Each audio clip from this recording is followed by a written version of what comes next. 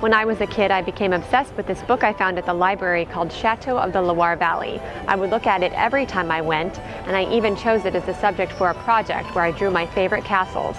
I've been able to visit now several times and it's been everything I imagined.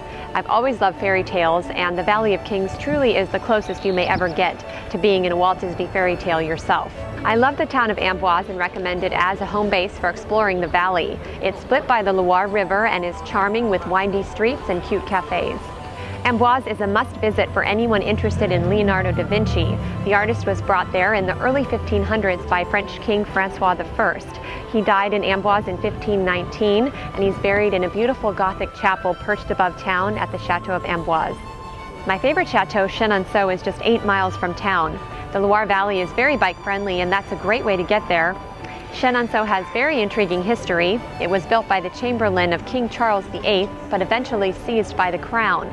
King Henry II gave it to his mistress Diane de Poitiers, and she lived there until his death in 1559. His wife, Catherine de' Medici, wanted the chateau for herself, and she forced Poitiers to sell it to her. The Queen added the iconic two-level gallery over the river to accommodate social gatherings.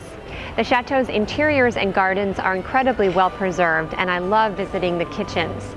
The chateau also makes its own wine, and you can taste and buy a bottle in the wine cave.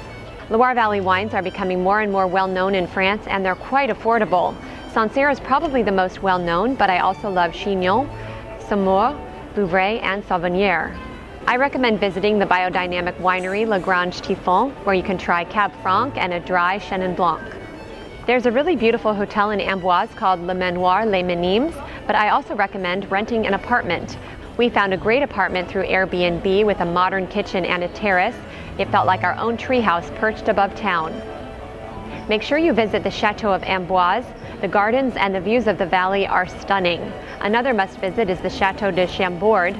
Built as a hunting lodge for Francois I, it has enormous interiors and a Leonardo da Vinci connection. He reportedly designed the chateau's famed double helix staircase. A highlight of visiting Chambord is walking on the roof where you can see the incredibly ornate turrets up close. They say Chambord was freezing in winter and mosquito infested in summer, so it probably wouldn't have been my choice of residence, but it is impressive nonetheless.